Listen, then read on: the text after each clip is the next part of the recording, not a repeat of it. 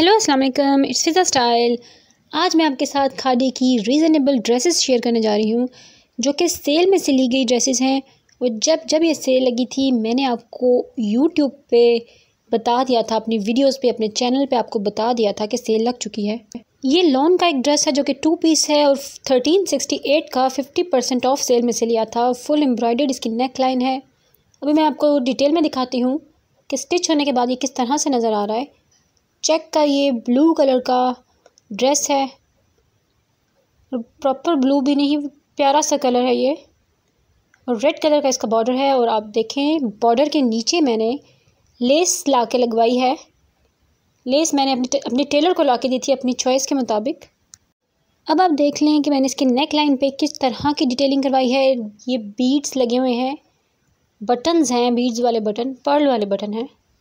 ये पर्ल वाले बटन लगवाए हैं इसके और इसके नीचे लटकने वाले पर्ल्स हैं। तो दो दो बटन मैंने इकट्ठे करके लगवाए हैं। एक, दो, तीन, चार बटन्स लगवाए हैं और दो टसल्स भी ला के लगवाए हैं। डल गोल्ड कलर के टसल्स हैं, बड़े खूबसूरत लग रहे थे। और इससे फॉर्मल लुक आ रही थी ड्रेस पार्टी वेयर टाइप की लग रही थी। आप भी इस तरह के जुगाड़ कर सकते हैं।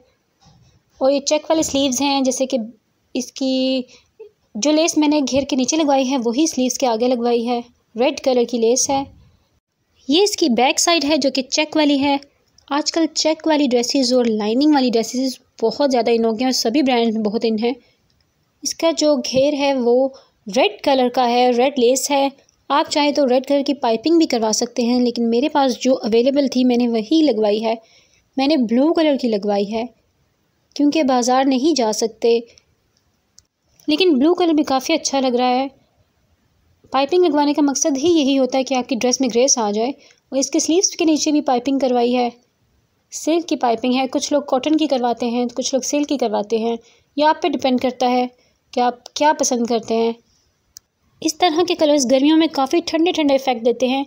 अब मैं आपको करीब करके भी दिखाती हूँ कि इसकी जो एम्ब्रॉयडरी है वो कितनी नीट है। यानी कि इस सेल में ली गई ड्रेस, सस्ती ली गई ड्रेस कितनी नीट है। इसकी नेकलाइन काफ़ी लंबी है, यानी कि एम्ब्रॉयडरी है, वो काफ़ी लंबी हुई हुई है। अगर आपने दुपट्टा लेना है, फिर भी आपकी जो एम्ब्रॉयड्री है, वो नज़र आएगी। अब मैं दिखाती हूँ कि जो इसका ट्राउज़र है, वो किस तरह से है। ट्राउज़र के नीचे मैंने बीड्स लगवाए हैं छः से सात बीड्स एक ट्राउज़र एक लेग पे लगवाया है, यानी कि एक जो टांग है, इस पर छः से सात बीड्स लगे हुए हैं। आप चाहें तो आप ज़्यादा भी लगवा सकते हैं अपनी चॉइस के मुताबिक, और इतने भी लगवा सकते हैं जिस तरह से मैंने लगवाए हैं। दुपट्टा आप साथ ब्लू भी ले सकते हैं और रेड भी ले सकते हैं। रेड लेंगे तो ज़्यादा खिल जाएगा और अगर ब्लू लगेगा, लेंगे तो वो डिसेंट हो जाएगा। चॉइस इज़ ऑल योर्स और ये एक और ड्रेस जो मैंने खाड़ी से बाई किया था, ये इसकी सेल में से लिया था फोर्टीन हंड्रेड का फिफ्टी परसेंट ऑफ़ सेल थी। कैम्ब्रिक का ये ड्रेस है टू पीस और ये तकरीबन मैंने आज से दो से तीन साल पहले बाई किया था। इसकी नेक लाइन आप देखें, इस पर ब्लैक कलर की एम्ब्रॉयडरी है। रेड ब्लैक वाइट बहुत ही खूबसूरत लगता है कलर्स कोई भी पहनेगा, बहुत ही डिसेंट लगेगा और इसके जो ट्राउज़र है, इस पर वाइट एम्ब्रॉयडरी हुई है। बस ये ड्रेस सिलवाने की मेरी बारी नहीं आई थी। जैसे कि आपको पता है, मेरा जो चैनल है, ये इसके तहत मैं न्यू ड्रेसेस बाय करती रहती हूँ। अब मैं आपको इसकी नेक लाइन दिखाती हूँ कि गोल गला और छोटा सा कट रखा हुआ है और फुल ब्लैक एम्ब्रॉयडरी हुई हुई है, जो कि बहुत ही नाइस लग रही है। डिसेंट है ब्लैक एम्ब्रॉयडरी ये इसके स्लीव्स देखें कितने प्यारे ब्लैक रेड वाइट और इसके नीचे जो वाइट कलर की सिल्क की पाइपिंग करवाई है, क्योंकि ये खिल रहा है वाइट कलर पहले मैं इस पर ब्लैक लगवाने लगी, लेकिन वाइट खिल रहा था। और देखिए इसके साथ जो आप दुपट्टा लेंगे, वो ब्लैक भी ले सकते हैं और मेरून भी ले सकते हैं। मेरून इसके साथ लेंगे तो वन कलर हो जाएगा, अगर आप वन कलर करना चाहते हैं।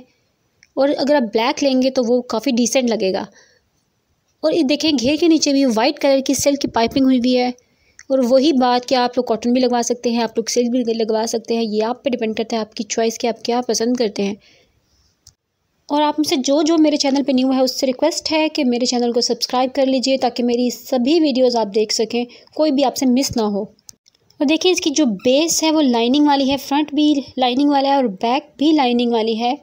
तो लाइनिंग इस दफ़ा बहुत इन है, जैसे मैंने आपसे कहा चेक और लाइनिंग दोनों बहुत इन है। इससे पहले मैं चेक वाला आपको दिखा चुकी हूँ ब्लू और ये। लाइनिंग वाला है। आप सब लोगों का बहुत शुक्रिया जो मुझे इतने प्यारे प्यारे कमेंट करते हैं और मुझे दुआएँ देते हैं। और मैं इसका ट्राउज़र आपको दिखाऊँ कि इसके ट्राउज़र किस तरह का है।